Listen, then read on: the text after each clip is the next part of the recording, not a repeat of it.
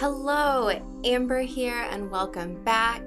If you're enjoying these reviews and you want more Three Body content, please like and subscribe. Also, congratulations to Tencent as it looks like season 2 will begin filming and a spin off is in the works. This is really exciting news for all the fans. Today, I'm going to begin with episode 19 and continue all the way to episode 23. But with episode 19, we begin and Ye Wenjie meets with Mike Evans in the remains of Red Coast Base. My only criticism of this episode was the dubbing. The series probably wasn't made with Americans in mind, so it's probably not a problem for anyone else. But Mike Evans' English isn't American English. This is a very minor criticism, and I don't think it detracted from the story. I'm probably not the base of people that the show was created for. Regardless, the big bombshell of this episode is that the real mission of Red Coast Base is to contact aliens, and the reaction from De is perfection. My favorite moment came from Bing Bing. Not only can she do the work of 10 men, she can explain complex things so easily that a child could understand. Da Shi isn't quite grasping the technological race that would result when one nation would be first to make contact over another. And I love that Da Shi is kind of a stand in for viewers who might also not understand. So when Bing Bing simply states that it's like getting a book about mastering martial arts, and whoever gets it first learns the skills and becomes invincible. It simplifies the concept really well. We also get our first glimpse into Dark Forest's theory in this episode when Ye Wenjie presents the comment that Earth hasn't made contact with other life forms because aliens have chose to keep silent for some reason. It was really fun getting the first glimpses of Wei Cheng's backstory, and I found the sequence of the three spheres quieting his mind really fun and really well done. Great episode. So now I'm going to continue to number 20. And this continues Wei Cheng's story during his time in the monastery. I really like this actor, and that's not a surprise at all because all of the actors so far have been top notch. The big concept this episode is that there is no solution to the three body problem. Wei Cheng cannot find a solution, and this runs parallel to Wang Miao's time inside the three body game. What I love about this episode is that you actually start to feel sorry for the Trisolarans, and I believe that this is the goal of the game. It's creating sympathizers on Earth. It took the Trisolarans 90 million years to recover from the Great Rip. The idea of this level of destruction happening again is a powerful message, and it makes this game really ingenious. People are going to feel sorry for the plight of the Trisolarans. The episode ends with Shen Yufei's death, and we move to episode 21. Pan Han is interrogated about her death, but cameras inside her home show that she killed herself. And what's really striking about this episode is how Wang Miao, Da Shi, and Wei Cheng are all really affected by her death. And especially Da Shi. He considers Shen Yufei an adversary. Every death is tragic, and what's even more tragic is Wei Cheng's breakdown, ripping the blanket off of his wife to do more calculations. It's absolutely heartbreaking. He has lost everything his wife, his comfortable life, and his obsession with the solution to the three body problem. Now, Wang Miao goes to a group meetup and is welcomed into the ETO. This was a moment in the books that had a really big impact on me. The discussion revolves around the topic of the conquistadors reaching the New World and conquering the Aztecs.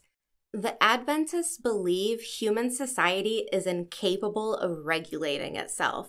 They say that the invasion on America prevented the Aztecs from turning America into a dark, and bloody empire without democracy. And this is a line directly from the books, and it shows how radicalized that these people have become to begin believing that this is okay. Now, Pan Han's computer is hacked by the reporter, and at this point, the Battle Command Center is fully mobilized. Trisolarans are coming, and Earth is like the Aztecs. Things are about to get wild. So, episode 22 begins, and using the help of Pan Han's hacked files, the Battle Command Center does the Adventist job for them and purges many of the redemptionists from the organization, picking them up, taking them into custody. Pan Han expertly peels an apple and meets with the reporter, and things do not look good for her.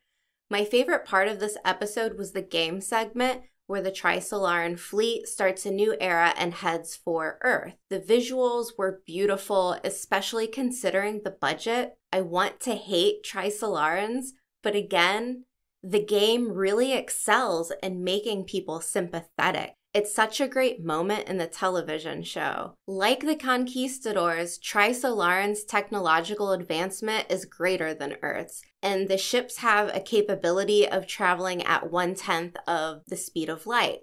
They will arrive ready to conquer in 400 to 500 years, so they say.